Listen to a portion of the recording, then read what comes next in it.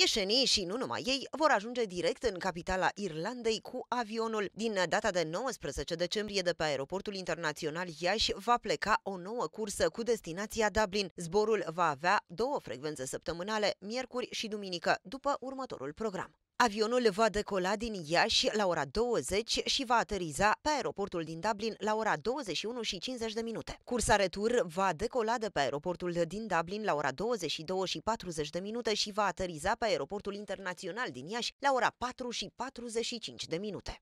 Din data de 22 iunie 2022, cursele vor fi suplimentate cu o nouă frecvență în ziua de vineri, după cum urmează. Plecarea se va face din Iași la ora 20, iar aterizarea va avea loc în Dublin la ora 21 și 50 de minute. Din Dublin, avionul va pleca la ora 22 și 40 de minute și va ateriza pe aeroportul internațional din Iași la ora 4 și 45 de minute. Tarifele pornesc de la 39,99